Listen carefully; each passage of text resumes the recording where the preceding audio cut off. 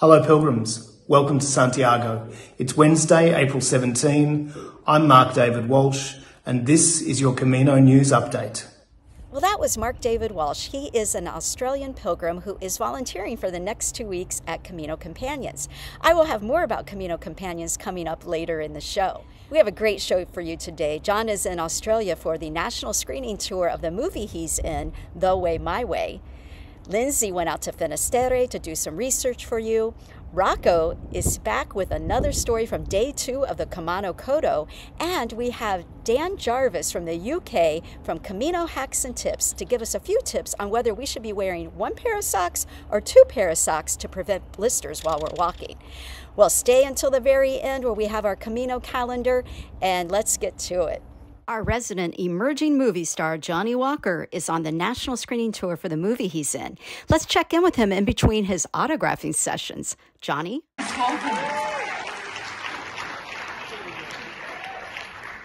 So if everyone likes to shuffle down, I'll take the end seat.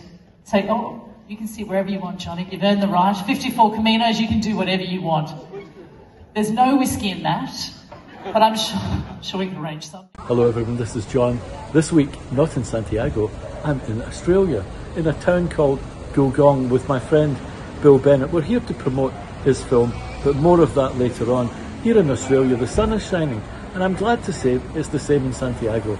And if you look at the weather forecast, you'll see that there's going to be sun for the next week and way beyond. So it's great, a great time to walk the Camino to, Santiago.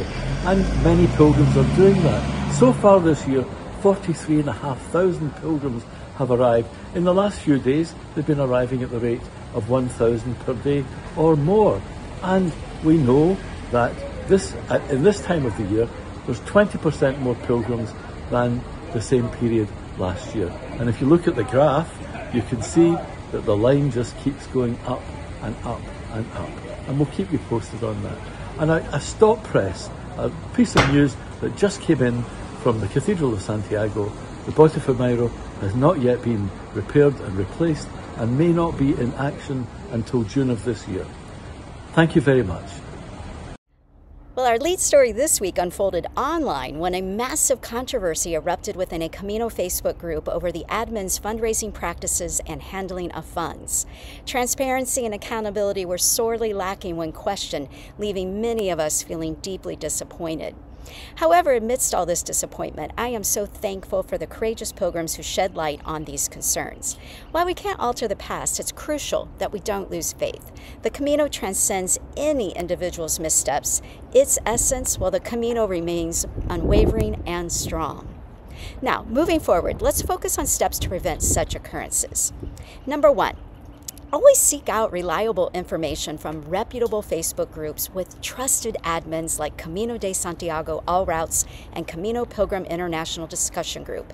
And that's just to name two of several trusted groups that are out there.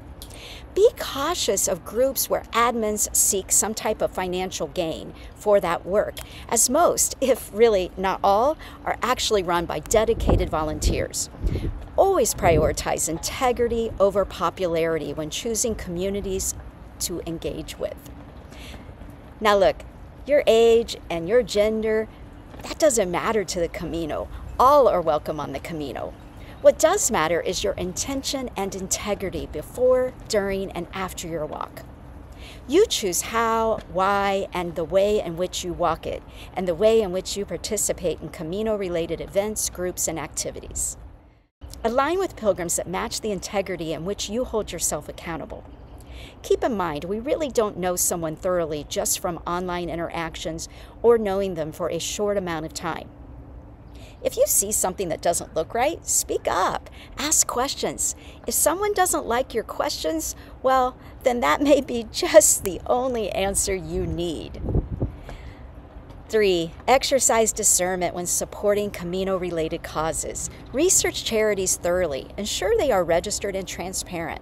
Demand accountability from the outset and don't hesitate to question inconsistencies. Trust your intuition and don't be deterred by resistance to your inquiries. Just because something has the word Camino in it doesn't mean it's automatically trustworthy. Scrutinize everything. Now, pilgrims, let's remain resilient. The Camino community moves forward now, strengthened by our collective integrity and love. Now let's check in with Lindsay. He just walked to the end of the world. Here are his top tips to better your time getting there as well as once you're there. Lindsay? Hi there, Lindsay here again. I've spent the past week on the Camino Finisterre, walking to the end of the earth. This five day Camino starts at the th- cathedral in Santiago and winds its way quickly into the leafy countryside surrounding the city. For me, this walk is a great way to chill out and integrate the larger Camino experience, ready for my next steps. Here are five pilgrim things to know about the Camino Finisterre. 1. If you don't have the full five days, Monbus has an excellent bus service where you can cut out some days if you are pressed for time. 2. Instead of a Compostela, you can get an attractive Finisterrana certificate from the municipal albergue or the tourist office. You will need to show your pilgrim credentials, which can be either the ones you've been using or a special one for Finisterre Muxía available from the pilgrim office in Santiago. 3. The municipal albergue is closed on Saturday and Sunday. No need to be concerned though, there are plenty of great private albergues in town to choose from. 4. To stay in the municipal albergue or be eligible for the certificate, you must have walked, biked, or ridden a horse the whole way. 5. The zero kilometre mark on this route is at the lighthouse, which is three kilometres out of town. In fine weather, it offers stunning sunsets. If you do go to see the sunset, be prepared with a head torch for safety. I'm sure I will return to Finisterre whenever I need some R&R. Until next time, buen camino. Now joining us for the first time is Dan from the popular YouTube channel and newsletter called Camino Hacks and Tips. He's a very experienced pilgrim providing great information to help you get more out of your Camino. If you've walked with blisters like I have, you know you want to prevent them at any cost. It's painful. One debate we see a lot online is should you wear one or two pairs of socks? Let's see what Dan says. Hello from the UK. It's Dan from the Camino Hacks and Tips YouTube channel and I am just happy that it's sunny and not raining in the UK for once. But I'm here to ask you a question. Are you a single or a double sock type of pilgrim? Now, the double sock method is where you take a synthetic liner sock, place that over your foot, then you place a wool sock over the synthetic liner. With the idea being that the synthetic liner sock wicks away the sweat and then the wool outer sock traps that moisture. Something to bear in mind with this method, it will make your foot sit bigger in your trainer, so you may want to get a larger trainer, say a size up. And on a personal note, I can't use this method in the summer because it makes my feet too hot and I get heat rash on my feet. And the single sock method is where you take, well, for me, it would be a Smartwool sock, which is a blend of wool and synthetic fibers, and it offers cushioning and it is thermo-regulating. So you need to ask yourself, are you a double sock pilgrim or a single sock pilgrim? So, experienced pilgrims, which are you? A one or a two sock kind of pilgrim? Comment here to help out soon to be first time walkers. And be sure to check out Dan's other amazing videos for more tips and hacks before you walk. Links to connect with Dan are in the show notes. Now, let's head to Japan and walk with Rocco Rossi on an ancient pilgrimage path. Be sure to watch all the way until the end to see him performing a sacred prayer ritual right from the path.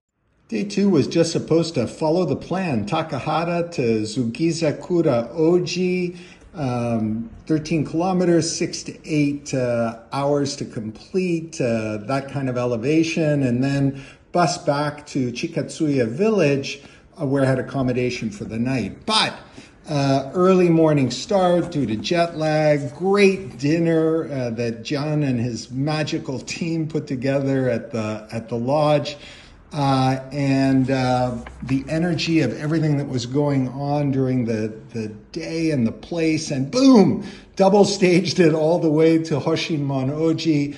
Another 14 kilometers, supposedly six to eight uh, hours to complete uh, with a lot more uh, ascent and, and descent than the first part of the stage. And I literally made it to the bus stop at 422 just before the 424 left to go back to Chikatsuyu. A phenomenal day. Here just a few of the highlights.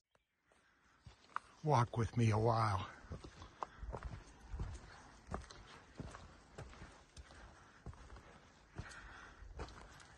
A sense of this forest as a as a cathedral. Incredible spirit and being the first one out, I've been uh, breaking through spider webs. It's quite a wonderful, interesting feeling. The trail toilets are definitely first class on the Kumano Kodo. Uh, here you go.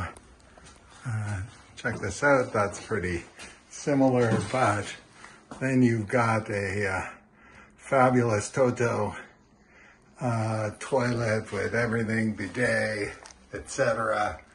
I mean, it's first class all the way when you're doing the Kumano Kodo.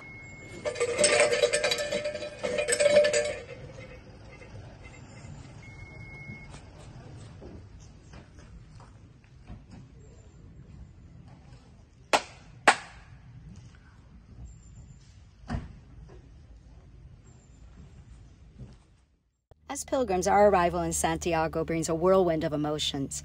From the elation of achievement to the bittersweet realization that our physical pilgrimage has just come to an end.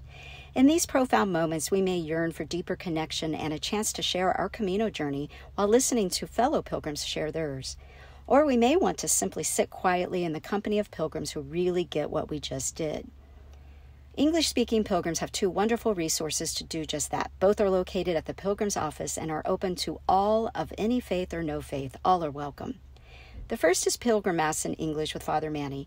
During this special Mass, you get the opportunity to meet other pilgrims and light a candle for an intention if you'd like.